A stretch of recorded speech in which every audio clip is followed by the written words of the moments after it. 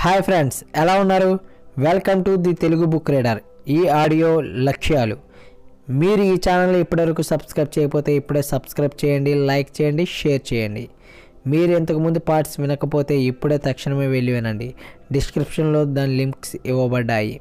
ఇక ఆలస్యం ఎందుకు? మన టాపిక్లోకి వెళ్ళిపోదామా? దారిలోని అడ్డంకులన్నీ తొలగించండి. విజయాన్ని కాంక్షించే వ్యక్తి పైకి చేరుకునే ప్రక్రియలో ఓటమిని ఒక ఆరోగ్యకరమైన అనివార్యమైన భాగంగా చూడాలి. జాయిస్ సోదరులు ఇక లాభం లేదు వదిలేయాలి అని అనుకోకముందు తమ కొత్త లక్ష్యాల్ని అందుకునే ప్రయత్నాన్ని జనం ఎన్నిసార్లు చేస్తారనుకుంటారు? సగటున ఒకసారి కన్నా తక్కువ. మొదటి ప్రయత్నం చేసే లోపలే చాలామంది దాన్ని విడిచిపెట్టేస్తారు. దానికి కారణం అడ్డంకులు ఇబ్బందులు సమస్యలు. ఇటువంటి దారికి అడ్డం పడేవన్నీ వాళ్ళు ఇంతకు ముందెన్నడూ చెయ్యనిది. ఏమైనా చేద్దామని నిర్ణయించుకున్నాక మరుక్షణం కనబడతాయి. నిజం చెప్పాలంటే పరాజయాన్ని పొందేవారి కన్నా విజేతలే ఎక్కువగా ఓటమిని చవిచూస్తారు. విజేతలు ప్రయత్నాలు ఎక్కువగా చేస్తారు. పడిపోతారు. లేచి నిలబడతారు. మళ్ళీ ప్రయత్నిస్తారు. మళ్ళీ మళ్ళీ గెలిచేదాకా ప్రయత్నిస్తూనే ఉంటారు. పరాజయం పొందేవాళ్ళు చాలా తక్కువ ప్రయత్నాలు చేస్తారు. అది కూడా ప్రయత్నం చేసినప్పుడే మాట. చాలా త్వరగా ఆ ప్రయత్నాన్ని విరమించుకుని అంతకు ముందు చేస్తూ ఉన్న పనినే కొనసాగిస్తారు. సైడ్ ఎప్పుడూ గెలుపుకి ముందు తాత్కాలికమైన ఓటమి ఉంటుంది. మీ లక్ష్యాన్ని సాధించే లోపల ఎన్నిసార్లు మీరు ఓటమిని ఎదుర్కొంటారు. మీరు చేసే ప్రయత్నం సరిపోని పరిస్థితి ఏర్పడుతుంది. దీనికి మీరు సిద్ధంగా ఉండాలి. మీరు తప్పకుండా పొందబోయే విజయాన్ని చేరుకునే దారిలో ఇలాంటి ఓటములు తాత్కాలికంగా కలిగే వైఫల్యాలు మీరు చెల్లించే ధరగా మీరు భావించాలి. హెన్రీ ఫోర్డ్ ఒక చోట ఇలా అంటాడు మళ్ళీ మరింత తెలివితేటలను ఉపయోగించి ప్రయత్నించేందుకు దొరికే అవకాశం తప్ప ఓటమి మరేమీ కాదు. మీ లక్ష్యాన్ని మీరు ఎంచుకున్నాక మిమ్మల్ని మీరు ఎలా ప్రశ్నించుకోండి. ఇంకా నేను ఎక్కడికి ఎందుకు చేరుకోలేదు? నన్ను ఆపి ఉంచుతున్నది ఏమిటి? ఇంకా ఆ లక్ష్యాన్ని అందుకోకపోవటానికి ఏమిటి కారణం? మీకు మీ లక్ష్యానికి మధ్య ఉన్న అడ్డంకులన్నింటినీ గుర్తించండి. ముందుకు పోకుండా మిమ్మల్ని ఆపేవి కానీ మీ వేగాన్ని తగ్గించేవి కానీ ఏమిటని బాగా ఆలోచించి వాటిని రాసి పెట్టుకోండి సైడ్ హెడ్డింగ్ పరిష్కారాల దృష్ట్యా ఆలోచించండి. గుర్తించుకోండి. ఎప్పుడు మీరు దేని గురించి ఆలోచిస్తారో అలాగే రూపొందుతారు. సమస్యలు ఇబ్బందులు ఉన్నప్పుడు విజేతలు ఒక ప్రత్యేకమైన పద్ధతిలో ఆలోచిస్తారు. దాన్ని పరిష్కారమని తీసుకొచ్చి అంటాం మేము.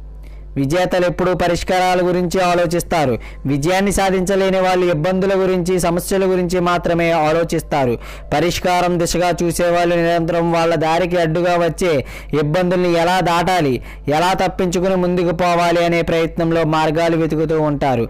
సమస్య దిశగా చూసేవాళ్ళు తమ సమస్యల గురించి ఆపకుండా మాట్లాడతారు.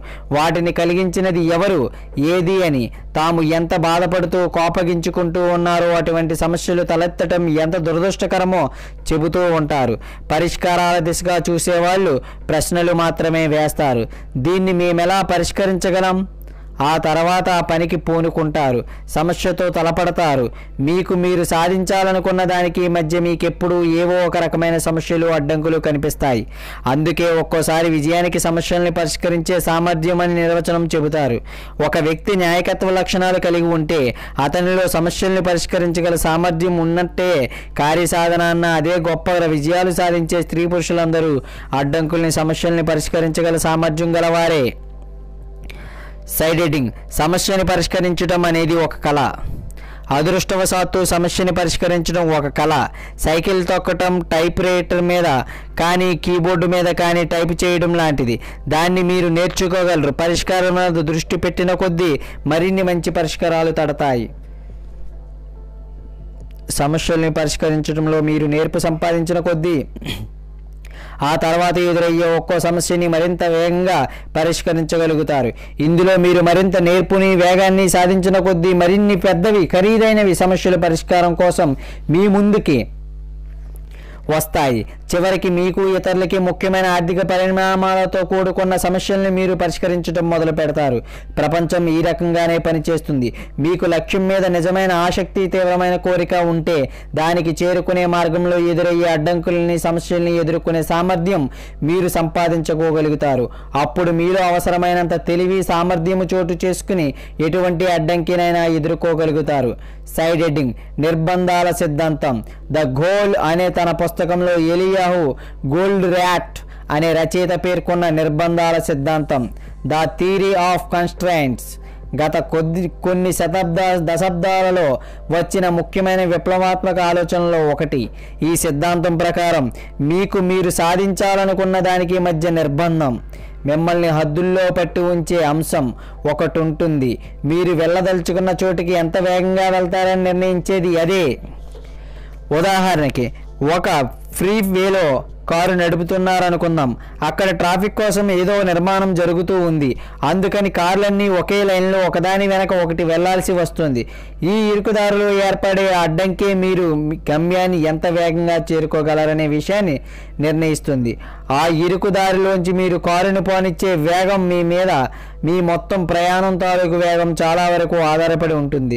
ఎటువంటి పెద్ద లక్ష్యాన్ని సాధించాలన్నా మీరు ఒక నిర్బంధాన్ని ఇరుకుదారిని దాటక తప్పదు. దాన్ని ఖచ్చితంగా గుర్తించి ఆ ముఖ్యమైన అడ్డంకిని అధిగమించేందుకు మీ శక్తిని అంతటిని కేంద్రీకరించండి. ఈ అడ్డంకిని తొలగించటం లేదా దానితో తలపడటం మీరు వేగంగా ముందుకు పోయేందుకు సాయం చేసినట్టు ఇంకే రకమైన ఉపాయమో మీకు అంతగా సహకరించకపోవచ్చు. సైడ్ లోపలి నిర్బంధాలు బాహ్య నిర్బంధాలు. మీకు మీ లక్ష్యాలకి మధ్య ఉండే నిర్బంధాలకి ఎనభై బై ఇరవై నియమం వర్తిస్తుంది. ఎనభై శాతం నిర్బంధాలు మీ మనసులోనివే ఉంటుంది. ఈ నియమం బయట ఉండేవి కేవలం ఇరవై శాతం మాత్రమే. అవి మిగతా వారిలోనూ పరిస్థితుల్లోనూ ఉంటాయి. ఇంకో రకంగా చెప్పాలంటే మీకు మీరే ఒక పెద్ద అడ్డంకి. మీరు కోరుకునే లక్ష్యాన్ని చేరుకునే దారిలో మీ వేగాన్ని నిర్ణయించేది కూడా అదే. చాలామందికి దీన్ని ఒప్పుకోవడం కష్టమనిపిస్తుంది. కానీ విజేతలు ఎప్పుడు ఎవరు చెప్పేది సరైనది అని కాకుండా ఏది సరైనది అని ఆలోచిస్తారు. ఒక పరిస్థితుల్లోని వాస్తవాన్ని ఎక్కువగా పట్టించుకుంటూ సమస్యని పరిష్కరించేందుకు ఏం చేయాలని ఆలోచిస్తారే తప్ప తమ అహంకారాన్ని కాపాడుకునేందుకు ప్రయత్నించరు. సైడెడింగ్ మీలోకి చూసుకోండి. మిమ్మల్ని మీరిలా ప్రశ్నించుకోండి. నాలో ఉన్న ఏ విషయం నన్ను ముందుకు పోకుండా ఆపుతుంది? మీ మనసు లోతుకు దొంగి చూసుకుని మీ వ్యక్తిత్వంలోని ముఖ్యమైన అడ్డంకి మీ మనోవైఖరి మీ నైపుణ్యం సామర్థ్యం అలవాట్లు చదువు సంధ్యలు లేక అనుభవాలు. వీటిలో ఏవి మీ లక్ష్యాన్ని సాధించకుండా ఆపుతున్నాయో గుర్తించండి. నిర్దయగా ప్రశ్నించుకోండి. నిజాయితీగా జవాబులు చెప్పండి. మీకు మీ లక్ష్యాలకి మధ్య ఉండే ముఖ్యమైన అడ్డంకులు సామాన్యంగా మానసికమైనవి. అవి మనస్తత్వానికి భావోద్రేకాలకి సంబంధించినవి. అవి మీ చుట్టూ ఉండే పరిస్థితుల్లో కాక మీ లోపలే ఉంటాయి. మీకు సాధ్యమైనది ఏదైనా సాధించాలని అనుకున్నప్పుడు మీరు ఈ మానసికమైన అడ్డంకుల్ని ఎదుర్కోవటంతోనే ప్రారంభించాలి.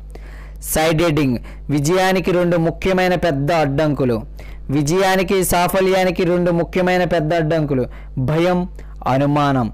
అసలు అన్నిటికన్నా ముందుగా భయపెట్టేవి ఓటమి పేదరికం నష్టం ఇబ్బంది తిరస్కారం లాంటివి. ఒక వ్యక్తిని ప్రయత్నించకుండా వెనక్కి లాగేవి ముందుగా ఇలాంటివే. అందుకే లక్ష్య సాధన కోసం ఒకసారి కూడా ప్రయత్నించిన వాళ్ళే ఎక్కువగా కనిపిస్తారు. లక్ష్యం గురించి ఆలోచించిన వెంటనే ఈ భయాలు వాళ్ళని తరుముకొస్తాయి. ఒక చిన్న మంట మీద ఒక బాల్టీడు నీళ్ళను వంపినట్టు వాళ్ళ కోరిక చప్పగా చల్లారిపోతుంది. రెండో రకం మానసిక అడ్డంకి. ఇది భయానికి చాలా దగ్గరగా సంబంధం గలది. తమ మీద తమకి అపనమ్మకం ఉండటం మన సామర్థ్యం మీద మనకి అపనమ్మకం ఉంటుంది. ఇతరులతో మనని పోల్చుకుని తక్కువగా అంచనా వేసుకుంటాం. ఎందుకో గాని అవతలి వ్యక్తికి మనకన్నా మెరుగైన వాడనో తెలివైన వాడనో సామర్థ్యం గలవాడనో అనుకుంటాం. నాలో అంత సక్తా లేదు అనుకుంటాం. మనం సమగ్రంగా లేమని మనం సాధించలేని తీవ్రంగా కోరుకునే లక్ష్యాలను చేరుకునే దారిలో ఎదురయ్యే సవాళ్ళని ఎదుర్కొనే సామర్థ్యం మనలో లేదని అనుకుంటాం. Side heading. వ్యతిరేకమైన భావాల్ని వదిలించుకోవచ్చు. అదృష్టవశాత్తు అనుమానం భయం అనే భావాలలో ఏదైనా మంచి ఉంది అంటే అవి రెండు నేర్చుకుంటే వచ్చేవే. మీరెప్పుడైనా వ్యతిరేకమైన పసికందుని చూసారా పిల్లలు ఈ ప్రపంచంలోకి భయాలు అనుమానాలు అనేవి లేకుండానే అడుగు పెడతారు ఇక నేర్చుకున్నది ఏదైనా సరే దాన్ని వదిలివేయటం కూడా సాధ్యమే. దానికి అభ్యాసం పునరుక్తి అవసరం. అనుమానానికి భయానికి ముఖ్యమైన విరుగుళ్ళు ధైర్యం విశ్వాసం. మీలో ధైర్యం విశ్వాసం ఎంత హెచ్చుగా ఉంటే భయం అనుమానం అంతకు తక్కువ స్థాయికి దిగిపోతాయి. మీ పనితీరు మీద ప్రవర్తన మీద వ్యతిరేకమైన భావాల ప్రభావం కూడా తగ్గిపోతుంది. సైడ్ హెడ్డింగ్ ధైర్యానికి విశ్వాసానికి కీలకమైనవి. ధైర్యాన్ని విశ్వాసాన్ని వికసింపజేసుకునే మార్గం ఒకటే. జ్ఞానాన్ని నేర్పుని సాధించటం. చాలా మటుకు భయాలు అపనమ్మకం అనేవి అజ్ఞానం వల్లే తలెత్తుతాయి. ఒక రకమైన లోటు ఉందనే భావం కలుగుతుంది. మీ లక్ష్యాల్ని సాధించేందుకు సంపాదించవలసిన జ్ఞానాన్ని మీరెంత ఎక్కువగా నేర్చుకోగలిగితే అంత తక్కువ భయం వేయటమే కాకుండా మరింత ధైర్యాన్ని విశ్వాసాన్ని సొంతం చేసుకోగలుగుతారు. మొదటిసారి కారు నడపడం నేర్చుకోవటాన్ని గుర్తు చేసుకోండి. బహుశా మీరు చాలా భయపడుతూ ఒత్తిడికి గురవుతూ ఎన్నో తప్పులు చేసి ఉంటారు. అడ్డదిడ్డంగా కారుని నడిపి మీకు అవతలి వారికి ప్రమాదాన్ని కలిగించేటట్టు ప్రవర్తించి ఉంటారు. కానీ కాలం గడిచిన కొద్దీ కారు నడపడం నేర్చుకుని నైపుణ్యాన్ని సాధించిన తరువాత మీరు మరింత చక్కగా నడుపుతూ ఆత్మవిశ్వాసాన్ని పెంపొందించుకుని ఉంటారు. ఇవాళ మీరు మీ కారులో కూర్చుని దేశంలో ఏ మూలకైనా భయం ఆందోళన లేకుండా దాన్ని నడపగలరు. కారు నడపడంలో మీరెంత ప్రావీణ్యం సంపాదించారంటే దాని గురించి ఆలోచించనక్కర్లేకుండానే ఆ పనిని మీకు మీరు చక్కగా చేయగలుగుతున్నారు. మీరు నేర్చుకోవాలని అనుకునే ఏ నైపుణ్యానికైనా ఇదే సూత్రం వర్తిస్తుంది. అప్పుడు మీరు మీకోసం నిశ్చయించుకున్న ఎటువంటి లక్ష్యానైనా సాధించగలుగుతారు. సైడ్ ఎడింగ్ శక్తిమంతులు శక్తిహీనులు.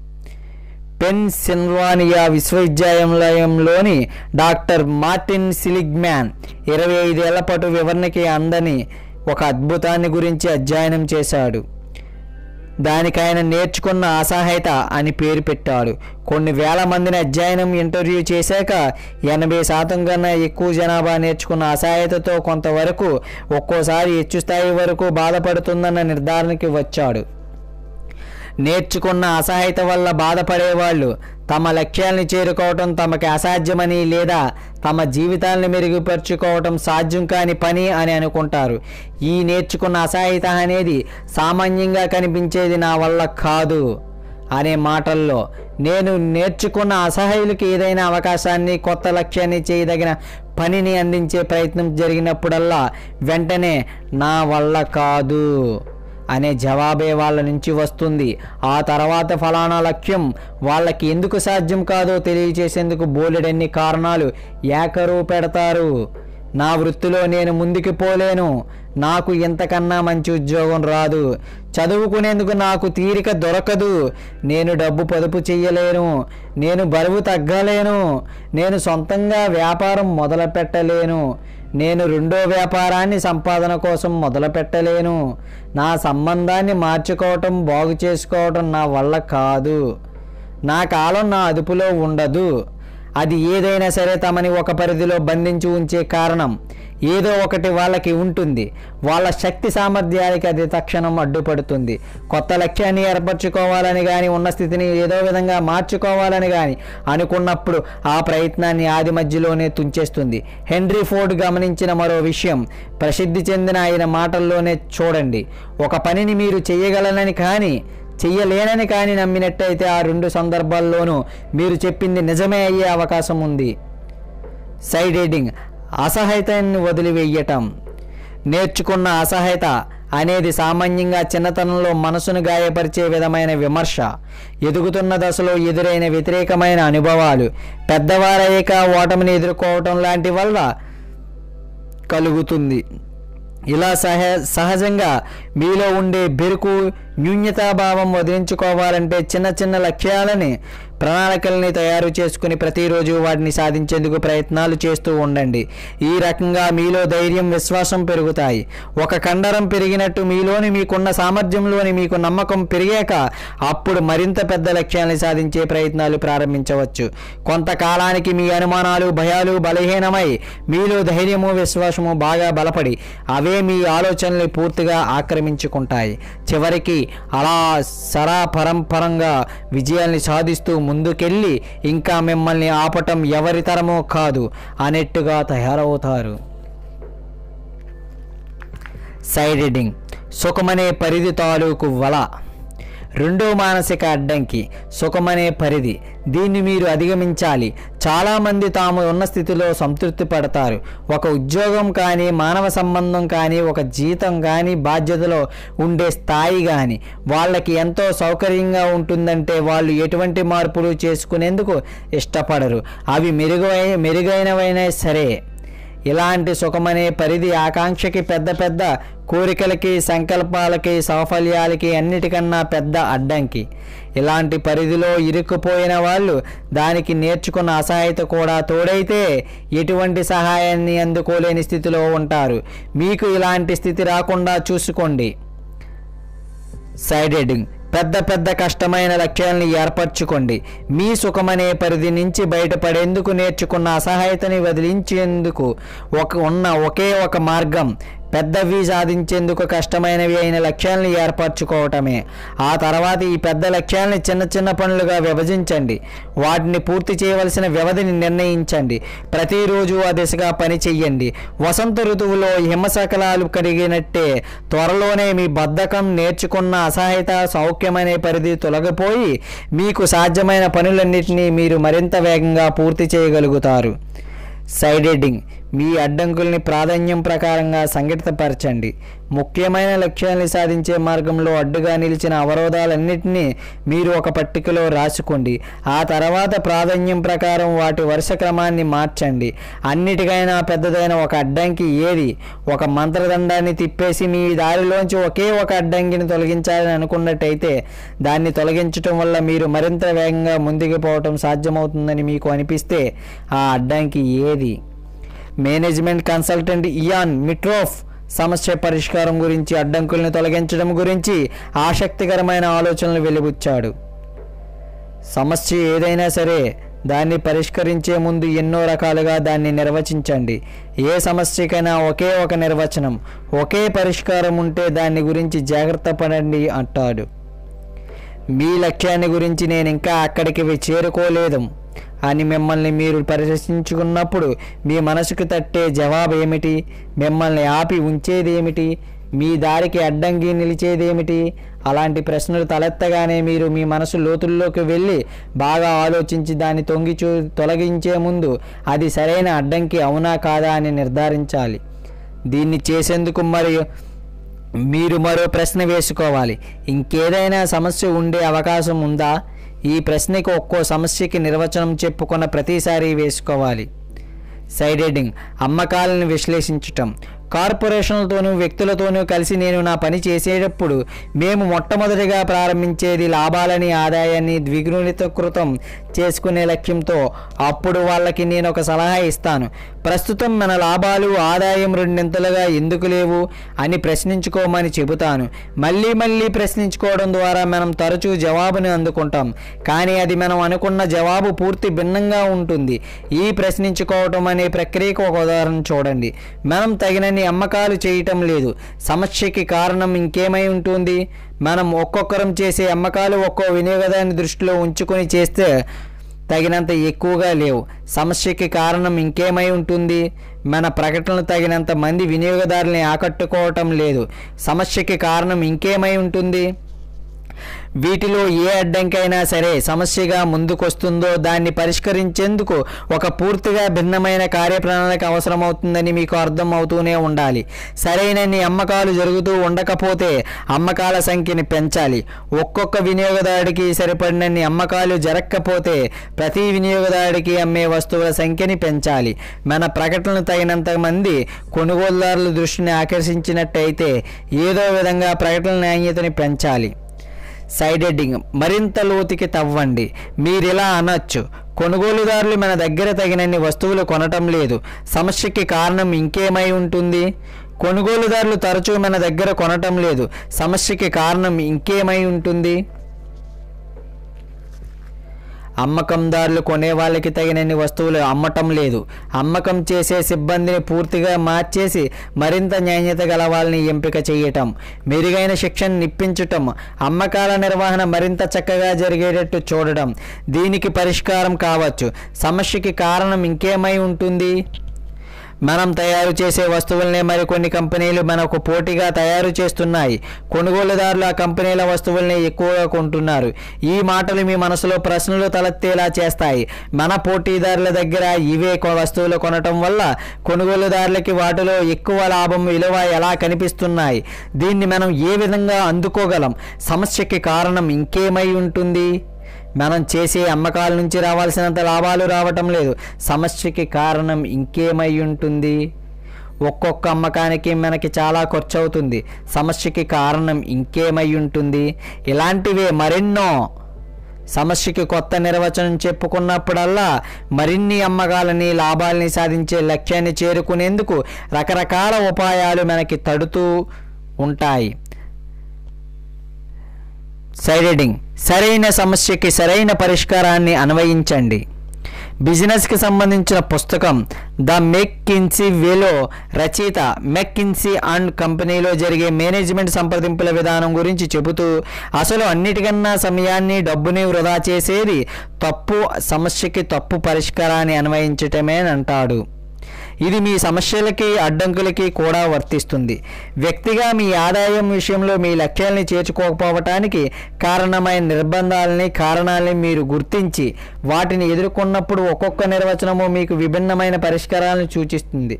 ప్రతి ఒక్కదాన్ని గుర్తి గురించి మీరు రకరకాల ఆలోచనలు చేయటం అవసరం. మీ వ్యక్తిగత జీవితంలోనూ అదే పద్ధతి కొనసాగుతుంది. మిమ్మల్ని ముందుకు పోనివ్వకుండా ఆపే ఇరుకుదారులని అడ్డంకులను మీరెంత ఖచ్చితంగా గుర్తిస్తే వారిని తొలగించటానికి కానీ దాటిపోవటానికి కానీ మీరు తీసుకోవాల్సిన సరైన మార్గాల్ని అంత స్పష్టంగా నిర్ణయించుకోగలుగుతారు. మీ ఆదాయాన్ని పెంచుకోవటం మీ సమస్యని చెప్పటం మీరు ఈ విధంగా ప్రారంభించవచ్చు. నేను తగినంత డబ్బు సంపాదించటం లేదు. సమస్యకి కారణం ఇంకేమై ఉంటుంది? నేను చేసే పనిలో విలువ తక్కువ ఉండటం వల్ల ఎక్కువ డబ్బు సంపాదించలేకపోతున్నాను. సమస్యకి కారణం ఇంకేమై ఉంటుంది? నేను చేసే పనిలో నాకు సామర్థ్యం తక్కువ ఉండటం వల్ల ఫలితాలు తగినంతగా లభించటం లేదు. అందుకే నాకు ఈరోజు సంపాదిస్తున్న డబ్బు కన్నా ఎక్కువ దొరికే అవకాశం లేదు. సమస్యకి కారణం ఇంకేమై ఉంటుంది? ఆఫీసులో నేను పనిచేసే సమయాన్ని సమర్థంగా ఉపయోగించటం లేదు. సమస్యకి కారణం ఇంకేమై ఉంటుంది? సాయంత్రాలు టీవీ చూస్తూనో శనివారాలు స్నేహితుల్ని కలుస్తూనూ గడుపుతాను. నా ఉద్యోగంలో ఇంకా నేర్పుతో పనిచేసేందుకు సహాయపడే పుస్తకాలను చదవను. కొత్త విషయాలు ఏమీ నేర్చుకోను. ఆహా! ఇప్పటికి మీరు అసలు సమస్య ఏమిటో కనుక్కున్నారు. ఎక్కువ డబ్బు సంపాదించడం అనే అసలు సమస్యని పరిష్కరించేందుకు మీరు విభిన్నమైన పని ఏం చెయ్యాలో ఇప్పుడు మీకు స్పష్టంగా తెలిసింది.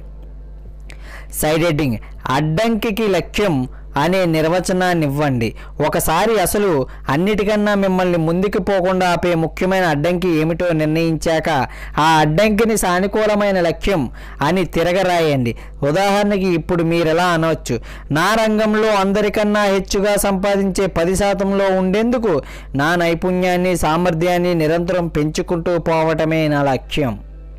మీ పరిజ్ఞానాన్ని నైపుణ్యాన్ని పెంచుకునేందుకు సమయ పాలనని మెరుగుపరుచుకునేందుకు సామర్థ్యాన్ని పెంపొందించుకునేందుకు మీ కంపెనీకి ఎక్కువ అమ్మకాలు చేసి పెట్టేందుకు తీసుకోవాల్సిన చర్యలని ఒక పట్టికలో రాయండి. ప్రతి చర్య పక్కన ముగింపు గడుపుని ఉపాయాల్ని రాయండి. ఒకవేళ ఒక కీలకమైన పనిని ఎంచుకుని వెంటనే దాన్ని చేయటం ప్రారంభించండి. ఆ తర్వాత నుంచి మీరు నిప్పుల మీద నడవండి. మీ మీద మీకే అజమాయిషీ చెయ్యండి. మీరు చేయవలసిన పనిని మీరే క్రమశిక్షణతో ఉత్సాహంతో చేస్తూ మీకోసం మీరు నిర్ణయించుకున్న లక్ష్యాన్ని చేరుకునేందుకు ఎలాంటి వ్యక్తిగా మీరు రూపొందించవలసి ఉందో దానిని తగ్గట్టుగా పని చెయ్యండి. మిమ్మల్ని ఆపి ఉంచేదేమిటో గుర్తించటం ఆ తర్వాత స్పష్టమైన లక్ష్యాన్ని రాసి ఉంచుకుని ఆ అడ్డంకిని తొలగించటం మీ జీవితం మీద మీకు పెత్తనాన్ని తిరిగి అందిస్తాయి. మీ సంకల్పాన్ని అనుసరి అనుసరిస్తూ పోతే మీకు చివరికి విజయం తప్పకుండా ఎంచుకున్న ఎంచుకున్నా దాన్ని తప్పక సాధించగలుగుతారు డైరెటింగ్ నిర్దిష్టతకై పాటుపడండి. మీ సమస్యకి నిర్వచనాన్ని చెప్పటం విషయంలో చెప్పలేని పరిస్థితి ఎదురై ప్రశ్నలు సందేహాలు మీరు ఉంటే మీకు తెలిసిన మీరు నమ్మదగిన వ్యక్తితో ఆ విషయం చర్చించండి. ఈ అహంకారాన్ని పక్కన పెట్టండి కూడిన జవాబులు వెనక్కి ఇవ్వమని పూర్తి సామర్థ్యాన్ని పట్టుకొని ప్రాథమిక లోటుపాట్లు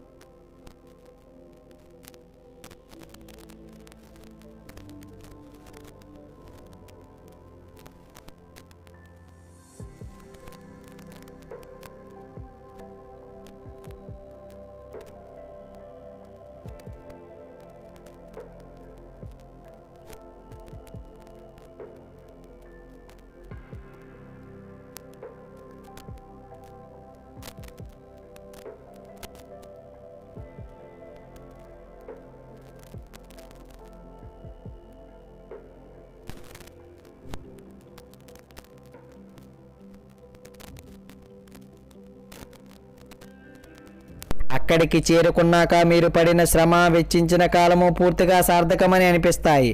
లెన్స్ బ్రౌన్ ఉపన్యాసాల ద్వారా ప్రేరణ కలిగించే మంచి వక్త.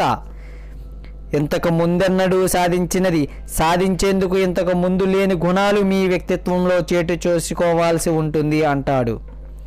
జర్మన్ తత్వవేత్త జోహన్ వుల్ఫ్ గ్యాంగ్ వాన్ గేదే ఇలా అంటాడు. ఎక్కువ పొందాలనుకుంటే మీరు ముందు మీలో ఎక్కువ ఉండేటట్టు చూసుకోవాలి. మీ రంగంలో అత్యున్నత స్థానాన్ని చేరుకున్న వారిలో ఒకరుగా ఉండాలని మీరు నిశ్చయించుకున్నాక మీరు అడగవలసిన ఒకే ఒక ప్రశ్న. దాన్ని నేను ఎలా సాధిస్తాను? కొన్ని వందల వేల లక్షల మంది ప్రతి రంగంలోనూ అట్టడుగు నుంచి పై స్థాయికి చేరుకున్న నిజం మీరు కూడా ఆ పని చెయ్యవచ్చు అనటానికి తగిన నిదర్శనం. అందరూ కాకపోయిన వేళల్లో చాలామందికి మీలో సహజంగా ఉన్న ప్రతిభ సామర్థ్యము ఉండకపోవచ్చు. జీవితంలో ఎప్పుడైనా సరే సహజంగా ఉండే ప్రతిభ సామర్థ్యం కన్నా కష్టపడి పని చేయటం అంకిత భావం అద్భుతమైన విజయాలకి దారితీస్తుంది. సైడ్ విజయానికి చదువు సంధ్యలు అవసరమా? ఫోర్బ్స్. నాలుగు వందలలోని సభ్యులు అమెరికాలో ఉండే అత్యంత ధనికుల్లో నాలుగు వందల మంది రెండేళ్ళ క్రితం పరిశోధకులు వాళ్ళ గురించి జరిపిన విశ్లేషణలో ఆ సభ్యుల్లో ఒక వ్యక్తి హై స్కూల్ చదువు కూడా పూర్తి చేయలేదని కాలేజీ చదువు విశ్వవిద్యాలయంలో డిగ్రీలు సంపాదించుకున్న వారికన్నా అతను మూడు వందల ముప్పై మూడు మిలియన్ల డాలర్ల ఆస్తి ఎక్కువగా సంపాదించుకున్నాడని తేలింది. నేను ఈ ఉదాహరణ ఇవ్వడానికి కారణం చాలామంది చదువులో మంచి మార్కులు తెచ్చుకోకపోతే జీవితంలో వాళ్ళు సాధించేది చాలా పరిమితమైన విజయాలని అనుకుంటారు. ఇంతకన్నా పెద్ద అసత్యం ఇంకొకటి ఉండదు. అమెరికాలోను ప్రపంచమంతటా ఎక్కువ ఆస్తిపరులు విజేతలు అయిన స్త్రీ పురుషులు చాలామంది చదువు చందుల్లో ఎంతమాత్రం రాణించని వారే. ఈ ప్రశ్నని జవాబుని గుర్తుంచుకోండి. ఒక్క ఏనుగుని మీరెలా తింటారు? దీనికి జవాబు ఒక్కో మొక్క కొరుకుతూ మీరు చేసే పనిలో పూర్తి నిష్ణాతులు అయ్యేందుకు కూడా ఇదే మార్గం. పైకి వెళ్ళేందుకు ఒక్కో మెట్టే. ఒక్క విషయంలో నేర్పునే ఒక్కసారి ఒక చిన్న పనిని మెరుగ్గా చేయటమే మార్గం. సైడ్ పెరిగే సంపద లేక తరిగే సంపద. అసలు విషయం ఏమిటంటే ఈరోజు మీకున్న పరిజ్ఞానం నేర్పు ఇంతకు ముందెన్నడూ లేనంత వేగంగా పాతబడి పనికి రాకుండా పోతున్నాయి. ఇంతకు ముందే నేను చెప్పినట్టు మీ సంపాదనా సామర్థ్యం మీ విషయంలో పెరిగే సంపద కావచ్చు లేదా తరిగే సంపద కావచ్చు. మీరు దాన్ని ఎప్పటికప్పుడు పెంచుకుంటూ కొత్తగా ప్రయత్నాలు చేస్తున్నారా? లేక పాతబడి పనికి రాకుండా పోయేందుకు వదిలేస్తున్నారా? అనే దాని మీద అది ఆధారపడి ఉంటుంది. ప్రతిరోజు మీరు ఎంచుకుంటూ ఉండొచ్చు లేదా ఎంచుకోలేకపోతూ ఉండొచ్చు. మంచి వార్త ఏమిటంటే మీ రంగంలోని అతి సమర్థులైన వారిలో ఒకరిగా తయారయ్యే మార్గంలో మీరు చురుగ్గా మీ పరిజ్ఞానాన్ని నైపుణ్యాన్ని పెంపొందించుకుంటూ ఉన్నట్టయితే మీరు ఒక పరుగు పందంలో ఉన్నట్టు లెక్క. పైగా పరిగెత్తేది మీరొక్కరే. త్వరలోనే మీరు గుంపు నుంచి విడవడి అందరికన్నా ముందుకు చేరుకుంటారు. ఈ లోపల మీతో పోటీ చేసిన చాలామంది ఊరికే షికారుకు వచ్చినట్టు నడుస్తూ ఉంటారు. తమ ఉద్యోగాలను కాపాడుకునేందుకు ఎంతవరకు పని చేయాలో అంతే చేస్తారు. అత్యున్నత స్థాయికి చేరుకోవాలన్న ఆలోచనే వాళ్ళకి ఎప్పుడూ తట్టి ఉండదు. సైడెడింగ్ మీకు అవసరమైన పరిజ్ఞానాన్ని గుర్తించండి. అత్యుత్తమంగా తయారయ్యేందుకు ప్రయాణం మొదలు పెట్టగానే మీరు ఇలా ప్రశ్నించుకోవాలి? అదనంగా ఎటువంటి పరిజ్ఞానం నైపుణ్యం సమాచారం రాబోయే నెలల్లో సంవత్సరాల్లో నా రంగంలో ముందుకు పోవటానికి అందరికన్నా ముందుండటానికి నాకు అవసరం అవుతాయి మూడు నుంచి ఐదేళ్ళ తర్వాత మీరు ఎలా ఉండబోతున్నారనేది ఊహించుకోండి. మీరు చేసే పనిలో మీరు అత్యుత్తమైన వారిలో ఒకరిగాను అందరికన్నా ఎక్కువ జీతం తెచ్చుకునే వారిలో ఒకరిగాను ఉంటారని ఒకసారి ఊహించుకొని చూడండి. అలా జరగాలంటే ఏం జరగాలి? మీరు ఏమి నేర్చుకుని ఉండాలి ఏమి చేసి ఉండాలి ఆ స్థానానికి చేరుకోవడానికి ఏమి సాధించి ఉండాలి మీ రంగంలో వారికి నాయకత్వం వహించేందుకు ఎటువంటి నైపుణ్యాన్ని సాధించి ఉండాలి. సైడ్ ఎడింగ్ మీరు చేస్తున్న వృత్తిని మార్చుకోండి. ఒకానొకప్పుడు నాకు ఒక మంచి స్నేహితుడు ఉండేవాడు. అతను ఒక ఒక చిన్న కంపెనీలో లాయర్గా పనిచేసేవాడు. అతని తండ్రి కూడా లాయర్ అవ్వటం వల్ల అతను విశ్వవిద్యాలయంలో లా డిగ్రీ సంపాదించుకున్నాడు. ఇరవయో పది పడి మొదట్లో ఉన్నప్పుడు అతను చదువు మునిగించి తన స్నేహితులకి పరిచయస్తులకి లాయర్గా ప్రాక్టీస్ మొదలుపెట్టాడు. కానీ త్వరలోనే లా అతనికి తనకి పనికిరాదని గ్రహించాడు. దాని బదులు బిజినెస్ వృత్తిగా చేపట్టాలని నిశ్చయించుకున్నాడు. ఆసరికి అతనికి ఇరవై ఆరేళ్ళు నిండాయి. ఎంతో మంది వద్దని వారిస్తున్న తనకి కావలసిన వనరులన్నింటినీ సమకూర్చుకుని ఎంబీఏ చేసేందుకు హార్వర్డ్ విశ్వవిద్యాలయంలో చేరాలన్న ఒకే ఒక లక్ష్యం మీద ఏకాగ్రతతో మనసును కేంద్రీకరించాడు. దానికి రెండేళ్ళు పట్టినప్పటికీ చివరికి అనుకున్నది సాధించాడు. ఆ తర్వాత కోర్సులన్నీ ముగించాక హార్వర్డ్లో ఎంబీఏ పట్టా పుచ్చుకునేందుకు మరో రెండేళ్ళు పట్టాయి. అతను తన సొంత ఊరికి తిరిగి వచ్చి రకరకాల ఉద్యోగాలకి ఇంటర్వ్యూలకి వెళ్ళాడు. చివరికి త్వరగా అభివృద్ధి చెందుతున్న ఒక ఎయిర్లైన్స్ కంపెనీలో ఆరంభ స్థాయి మేనేజ్మెంట్ ఉద్యోగంలో చేరాడు. తన వృత్తిలో అతను చేసుకున్న ఆ మార్పు ఉత్తమమైనది రుజువైంది. పదేళ్ళకే అతను యా ఎయిర్లైన్స్లో ప్రెసిడెంట్ హోదాకి చేరుకుని కొన్నేళ్ళ క్రితం తనతో పాటు లా డిగ్రీ తెచ్చుకుని లాయర్లుగా పనిచేస్తున్న వాళ్ళందరికన్నా పది రెట్లు ఎక్కువ జీతం తెచ్చుకోసాగాడు. దేశంలో అతిపెద్ద కంపెనీల్లో ఒకదాన్ని ఎగ్జిక్యూటివ్ ఇన్ఛార్జ్ నిర్వహణాధికారిగా అతి చిన్న వయసులోనే బోలెడంత గౌరవాన్ని సంపాదించుకున్నాడు. సైడ్ మీరు ఎన్నో రకాల ఉద్యోగాలు వృత్తులు చేయవచ్చు. సగటున ఈ రోజు పని ప్రారంభించే వ్యక్తి రెండేళ్ళలో లేదా ఇంకా ఎక్కువ కాలంలో పద్నాలుగు నిలకడైన ఉద్యోగాలని నాలుగైదు నిలకడైన వృత్తులని పూర్తిగా భిన్నమైన కంపెనీల్లో చేస్తాడని అంచనాలు తెలియజేస్తున్నాయి. నలభై మిలియన్ల అమెరికన్లు దాదాపు తాము ఉద్యోగాలు చేసిన వాళ్ళు అనిశ్చితమైన ఉద్యోగులుగానే ఉండిపోతారు. ఏ ఒక్క కంపెనీలో కూడా వాళ్ళు ఎక్కువగా కాలం పని చెయ్యరు. ఒక కంపెనీ నుంచి మరో కంపెనీకి మారుతూ వృత్తి నిపుణులుగా టెక్నికల్ పనులు చేస్తూ ఉంటారు. మీరు మీరు పెరిగి పెద్దవారవుతూ పరిపక్వతని పొందుతున్న కొద్దీ మీరు ఉద్యోగాలు మారటం అనేది అనివార్యమవుతుంది. నిరంతరం ముందుకు పోయే మార్గాన్ని చూస్తూ రాబోయే సంవత్సరాల్లో మీరు కోరుకునే జీవితం సంపాదించుకునేందుకు అవసరమైన నైపుణ్యాన్ని ఎలా సంపాదించాలని అని ఆలోచిస్తూ ఉంటారు? Side reading. ముఖ్యమైన పరిణామాల రంగాలను గుర్తించండి. నేను ముందే చెప్పినట్టు ప్రతి ఉద్యోగంలోనూ ఐదు నుంచి ఏడు వరకు విభిన్నమైన కీలకమైన పరిణామాలు ఇచ్చే రంగాలు ఉంటాయి ఉదాహరణకి అమ్మకాల్లో ఈ ఏడు ఉంటాయి. అవి వరుసగా ఒకటి అన్వేషణ రెండు సాన్నిహిత్యం ఏర్పరచుకోవటం మూడు అవసరాలను గుర్తించటం నాలుగు పరిష్కారాలను సూచించటం ఐదు అభ్యంతరాలకి జవాబు చెప్పటం ఆరు అమ్మకాలని చేసి ముగించటం ఏడు తృప్తి పడిన కొనుగోలుదారులకు మళ్ళీ అమ్మకాలు అందివ్వటం అభిప్రాయాలు సేకరించటం. మీరు అమ్మకందారు అయినట్టయితే ఈ ఒక్కొక్క పనిలోనూ మీరు మీకు ఒకటి నుండి పది వరకు ఏదో ఒక మార్కు ఇవ్వాలి. ఒకటి అన్నిటికన్నా తక్కువ పది అన్నిటికన్నా ఎక్కువ. మీ రంగంలో మీరు పై స్థాయిలో ఇరవై శాతంలో ఉండాలనుకుంటే మీకు కనీసం ఏడు మార్కులైనా రావాలి. ఈ ఏడు రకాల పనుల్లోనూ మీకు మీరు మార్కులు ఇచ్చుకున్నాక ఆ జాబితాని మీ బాస్ దగ్గరికి లేదా ఇంకా ఎక్కువ ప్రయోజనం ఉండాలంటే కొనుగోలుదారులు ఒకరి దగ్గరికి తీసుకెళ్ళి అతన్ని కూడా మీకు మార్కులు ఇమ్మని అడగండి. ఇది మీకు నిజమైన కనువిప్పు కాగలదు. సామాన్యంగా మిమ్మల్ని మీరు అంచనా వేసుకోవటం అనేది ఇతరులు మీ గురించి వేసే అంచనా కన్నా భిన్నంగా చాలా మటుకు హెచ్చుగా ఉంటుంది. చివరికి మీరు సంపాదించుకునే మార్కులు ఏవైనప్పటికీ మీరు అన్నిటికన్నా బలహీనంగా ఉండే పనిని ఎంచుకుని మరింత కష్టపడి దాన్ని నేర్చుకోవాలి. అప్పుడే అది మిగతా వాటితో సమాన స్థాయికో హెచ్చు స్థాయికో చేరుకోగలుగుతుంది. అన్నిటికన్నా బలహీనమైన ఆ ముఖ్యమైన నేర్పే మీ ఆదాయాన్ని నిర్ధారించి మీ వృత్తిలో మీరు ఎంత వేగంగా ఎంత దూరం వెళ్తారనేది నిర్ణయిస్తుంది. సైడెడింగ్ మీ వేగాన్ని పెంచండి. మిగిలిన మీ ఉద్యోగ జీవితంలో వేసుకునేందుకు ఒక గొప్ప ప్రశ్న ఇది. ఏ ఒక నేర్పుని మీరు బాగా మెరుగుపరుచుకుని దాన్ని పనిచేసేందుకు అత్యద్భుతంగా ఉపయోగించగలిగితే మీ వృత్తి మీద అతి గొప్ప సానుకూల ప్రభావం ఉంటుంది. వ్యక్తిగాను వృత్తి నిపుణుడుగాను ఎదిగేందుకు ఇదే మీకు కేంద్ర బిందువు కావాలి.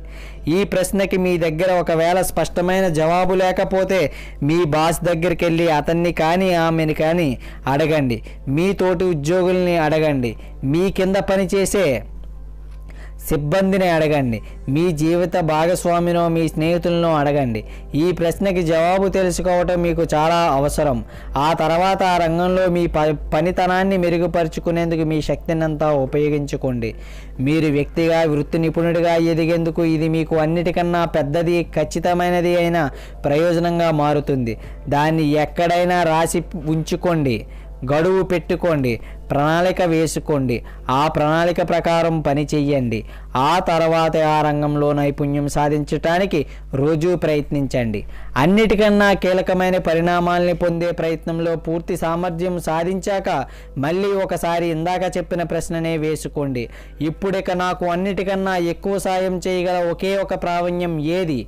ఆ ప్రశ్నకి మీ జవాబు ఏదైనా సరే ఆ విషయంలో కూడా పూర్తి సామర్థ్యం సాధించేదాకా మీ ప్రయత్నాన్ని కొనసాగించండి. ప్రతి రంగంలోనూ అందరికన్నా ఎక్కువ జీతం తెచ్చుకునే వాళ్ళు తమ తమ కీలకమైన పరిణామాల స్థానాల్లో ఒక్కొక్క దానిలోనూ ఎనిమిది తొమ్మిది లేక పది మార్కులు తెచ్చుకుంటారు. మీ లక్ష్యం కూడా ఇదే కావాలి. Side reading. అత్యుత్తమమైన కార్యనిర్వాహకుడు.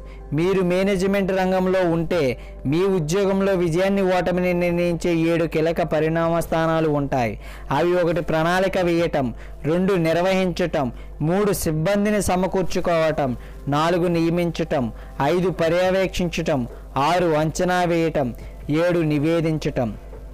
ఈ ఒక్కొక్క పనిలోని విజేతలైన మేనేజర్లు ఎంతో ఉత్తమమైన స్థానాన్ని అందుకుంటారు. విజేతలు కానీ మేనేజర్లందరూ వీటిలో ఏదో ఒక పనిలో కానీ అంతకన్నా ఎక్కువ పనుల్లో కానీ పూర్తి సాఫల్యం సాధించి ఉండరు. ఈ పనుల్లో ఏ దేనిలో మీరు బలహీనంగా ఉన్నా అది మీ విజయానికి గొడ్డలు పెట్టిలా ఉంటుంది. ఉదాహరణకి నియమించటం అనే పని తప్ప మిగతావన్నీ మీరు ఎంతో చక్కగా చేస్తారనుకుందాం. అది ప్రతిరోజు మీరు చేసే పనికి అడ్డుపడుతూ ఉంటుంది.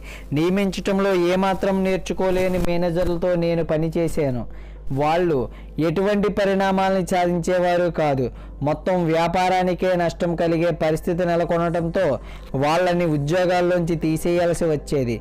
ఈ కీలక పరిణామాల స్థానంలో మీకు ఒకటి నుంచి పది దాకా మార్కులు వేసుకోండి. మీ చుట్టూ ఉన్న వాళ్ళని కూడా మార్కులు వేయమని అడగండి. నిజాయితీగా ప్రవర్తించండి. మర్యాద కోసం మొహమాట పడకుండా నిజం చెప్పమని మీతోటి ఉద్యోగిని కోరండి. మూడు వందల అరవై డిగ్రీల విశ్లేషణ చేయండి.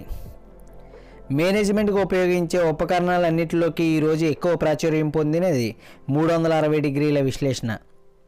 ఈ రకమైన విశ్లేషణలో చాలామందికి పర్యవేక్షణ చేయమని ఆ చెబుతారు. వాళ్ళు ఆ పని చేశాక ఒక మేనేజర్కి పరిణామాలను రిపోర్ట్ రూపంలో అందించాల్సి ఉంటుంది.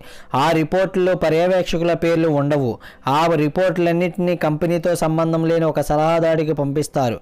అతను ఆ జవాబుల సారాంశాన్ని ఒక చోట పొందుపరుస్తాడు. ఈ సారాంశాన్ని మేనేజర్కి చూపించి ఇతరులకి ఆ మేనేజర్ గురించి ఎటువంటి అభిప్రాయం ఉందో అతనికి ఆమెకి తెలియజేస్తారు. ఉదాహరణకి మేనేజర్ అలా ఎలా అంటాడు నేను చాలా జాగ్రత్తగా ఆలోచించి నిర్ణయాలు తీసుకుంటాను. కానీ అతని కింద పనిచేసే సిబ్బంది అతని నిర్ణయాలు తీసుకోవడం విషయంలో చురుగ్గా ఉండడు. ముందు వెనకాడలాడతాడు. భయపడతాడు అంటారు. మేనేజ్మెంట్ గురించి ఈ మధ్య జరిగిన ఒక అధ్యయనంలో ఫలితాల్ని సాధించడంలో తాము అందరికన్నా హెచ్చు స్థాయి సంపాదించుకుని ఇరవై ఐదు శాతంలో ఉన్నామని డెబ్బై ఐదు శాతం మేనేజర్లు తమని తాము అంచనా వేసుకున్నారు. అదేవిధంగా వ్యక్తిత్వము తెలివితేటల విషయంలో కూడా పై స్థాయిలోనున్న ఇరవై శాతంలో తాము చేరతామని కూడా వాళ్ళు అన్నారు. సహజంగానే మనని మనం చాలా ఎక్కువగా అంచనా వేసుకుంటాం. మెనలో ఎటువంటి లక్షణాలు ఉండాలి అనేది పట్టించుకోం. అందుకే తరచూ మన తోటివారు మనల్ని అంచనా వేస్తూ ఉండటం ఎంతైనా అవసరం. సైడ్ ఎడింగ్ మిమ్మల్ని మీరు మెరుగు మెరుచు మెరుగుపరుచుకోవటమే లక్ష్యంగా పెట్టుకోండి. మీరు అన్నిటికన్నా ఎక్కువగా మెరుగుపరుచుకోవాల్సింది ఏ కీలకమైన ఫలితాలను ఇచ్చే విషయాన్ని అని ఒకసారి నిర్ధారణ చేసుకున్నాక దాన్నే లక్ష్యంగా పెట్టుకోండి. ప్రణాళిక తయారు చేసుకోండి. ఒక ప్రమాణాన్ని కూడా పెట్టుకొని గడువు పెట్టుకోండి.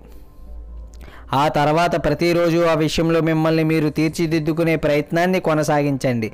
ఒక వారంలోనో నెలల్లోనో ఏడాది లోపల ఆ నైపుణ్యాన్ని మీరు అద్భుతంగా సాధించుకోగలుగుతారు. మీకు ఒక నిష్ణాతుడిగా తయారవుతారు. సైడ్ మిమ్మల్ని మీరు ఉన్నదున్నట్టుగా అంగీకరించండి. ఈ మధ్య కొన్ని ఏళ్ళలో ఎక్కువ ప్రజాదరణ పొందిన బిజినెస్ పుస్తకాల్లో నౌ డిస్కవర్ యువర్ స్ట్రాయింగ్ కూడా ఒకటి. ఇంతకు ముందు ఎక్కువగా అమ్ముడైన first break all the rules అనే పుస్తకం తర్వాత ఇది వచ్చింది. ఈ రెండు పుస్తకాలు మొత్తం మీద తేల్చి చెప్పిన ఒకే ఒక విషయం ఏమిటంటే మనుషులు మారరు అనేది.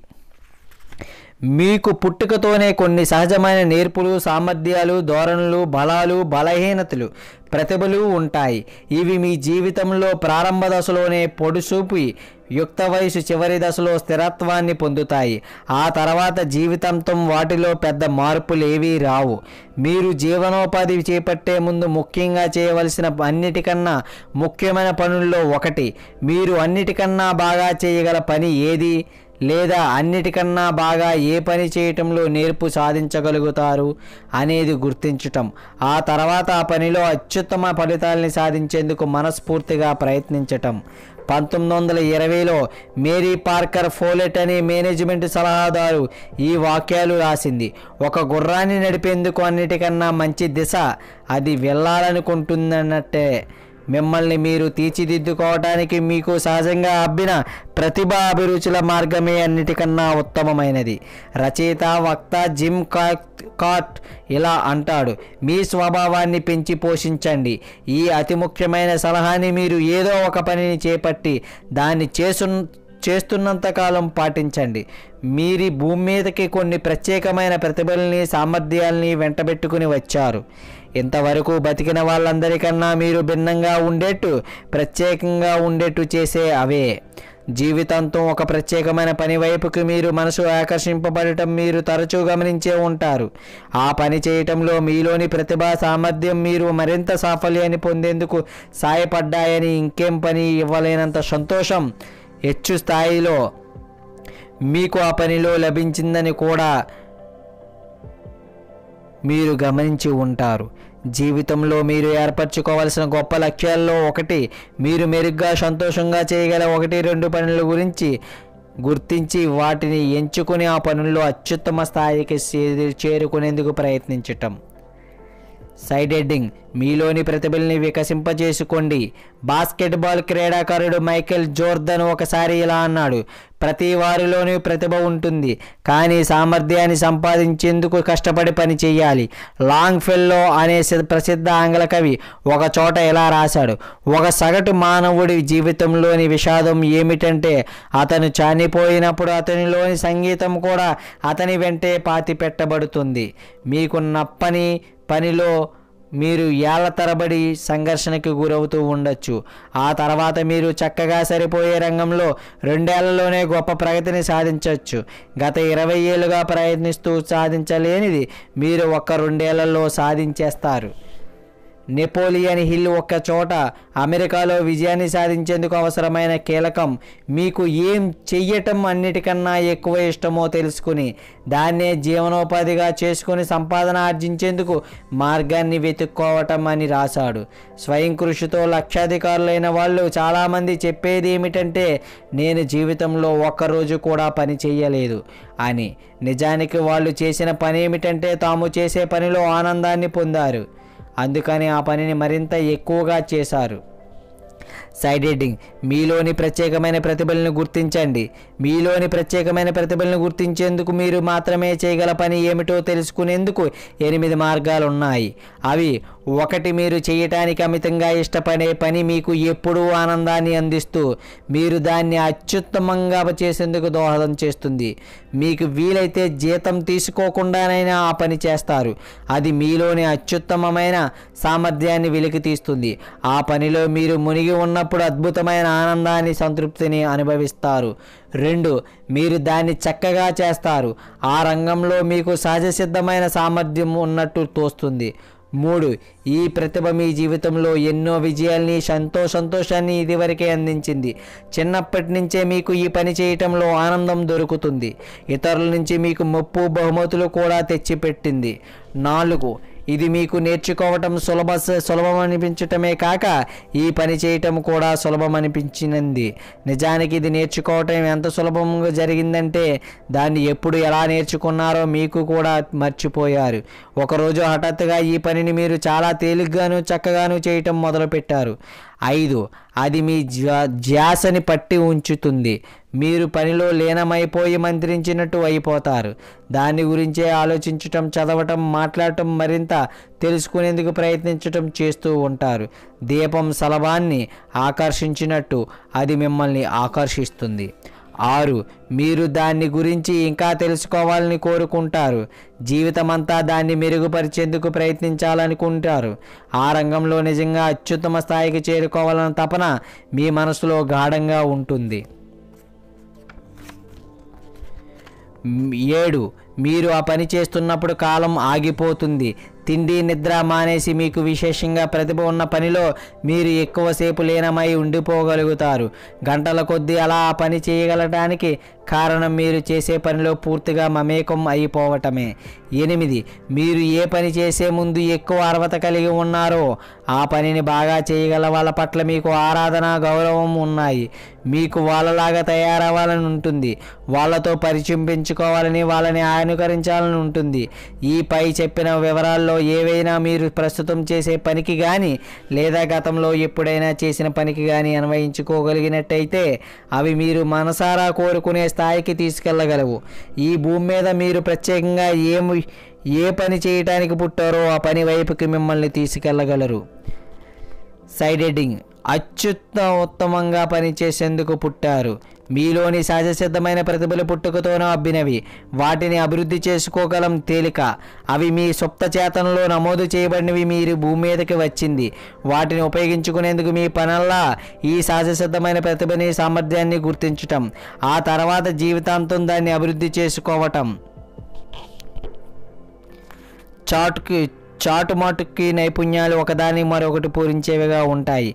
అవి ఒకదాని మీద మరొకటి ఆధారపడి ఉంటాయి. అంటే అర్థం పై స్థాయిలో ఉండే ఏదైనా నేర్పుని ఉపయోగించుకోవాలంటే కింది స్థాయిలో ఒకనొక నేర్పు మీలో ఉండాలి. ఒక్కోసారి మీకు ఇష్టం లేని ఆనందాన్ని ఇవ్వని నేర్పులను కూడా మీరు నేర్చుకోవాల్సి వస్తుంది. కానీ మీరు ఎంచుకున్న రంగంలో అత్యుత్తమ స్థాయికి చేరుకోవాలంటే ఇది మీరు చెల్లించవలసిన మూల్యం.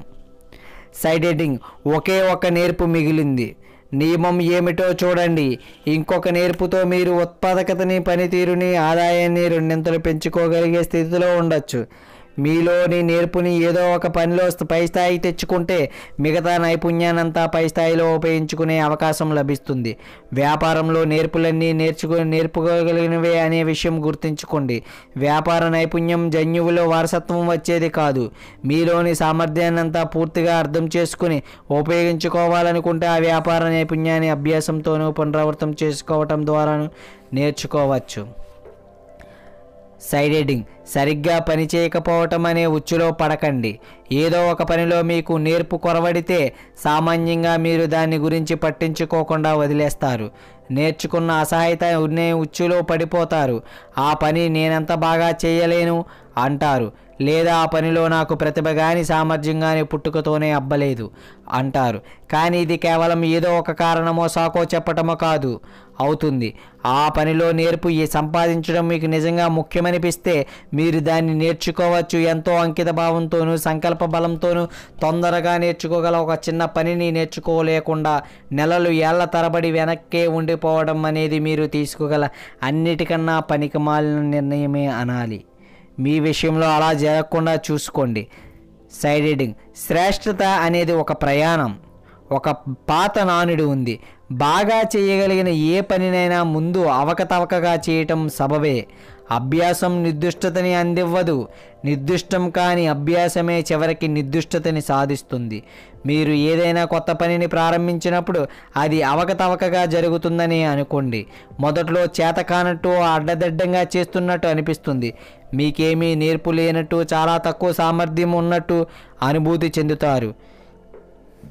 మీరేమాత్రం తెలివైన వారు కాదని తలుస్తూ ఇబ్బందికి గురవుతారు. కానీ మీ రంగంలో శ్రేష్టంగా తయారవ్వాలంటే ఈ మూల్యం చెల్లించక తప్పదు. విజయానికి ఎప్పుడు మూల్యం చెల్లించాల్సి ఉంటుంది? ఆ మూల్యం ఏమిటంటే మీ రంగంలో అత్యున్నత స్థానాన్ని సంపాదించుకునేందుకు ఒక కష్టమైన పనిలో నైపుణ్యాన్ని సంపాదించుకునేందుకు చేయవలసిన కృషి. సైడ్ మీ మంత్రదండాన్ని ఓపండి.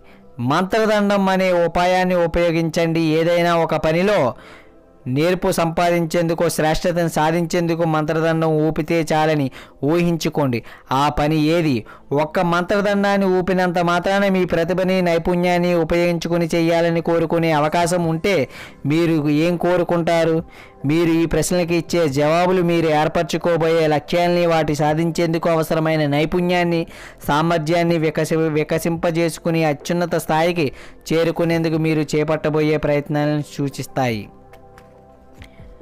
జీవితంతో మీకోసం మీరు చేయటం అనే ప్రణాళికలను కొనసాగించండి. ఒక ముఖ్యమైన రంగంలో పూర్తి శ్రేష్టతను సాధించేందుకు ఒకటి రెండు లేదా మూడు సంవత్సరాల కాలాన్ని వెచ్చించేందుకు సిద్ధం కండి. ఎటువంటి మూల్యాన్ని చెల్లించేందుకు వెనకాడకండి. ఎటువంటి త్యాగానైనా చేయండి కానీ మీ రంగంలో అత్యున్నతమైన వారిని పేరు తెచ్చుకోండి. సైడ్ హెడ్డింగ్ మూడు ప్లస్ ఒకటి అనే సిద్ధాంతం. ఎటువంటి నైపుణ్యానైనా పూర్తిగా సాధించేందుకు మూడు ప్లస్ ఒకటి అనే సిద్ధాంతం చాలా తేలికగా పనిచేయటమే కాకుండా ప్రతిసారి పనిచేస్తుంది. మొట్టమొదట మీరు సాధించదలుచుకున్న నైపుణ్యం గురించి ప్రతిరోజు చదవండి. అది పావుగంట అరగంట అయినా పర్వాలేదు. పరిజ్ఞానం అనే దాన్ని పోగు చేయాలి. మీరెంత ఎక్కువ చదివి నేర్చుకుంటే ఫలానా పని మిన్ని మీరు అంత అత్యుత్తమంగా చేయగలగలన్న నమ్మకం అంత ఎక్కువగా మీకు కలుగుతుంది.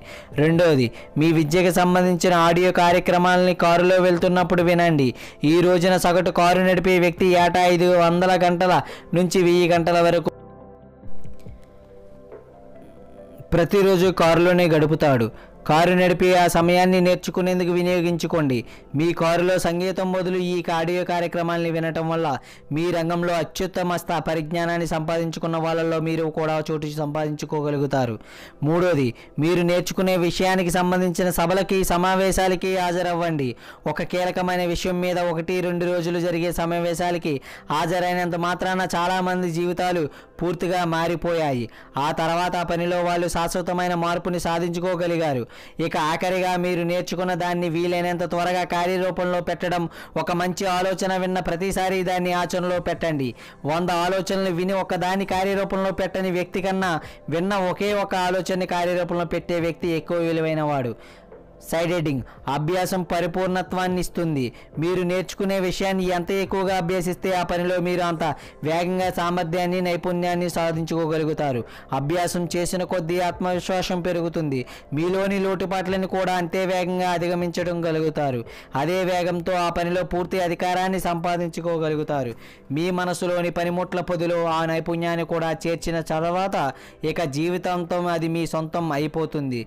మీ రంగంలో పై స్థాయిలో ఉండే పది శాతంలో మీరు కూడా స్థానం సంపాదించుకుంటారని ఈరోజే ఇప్పుడే సంకల్పించండి.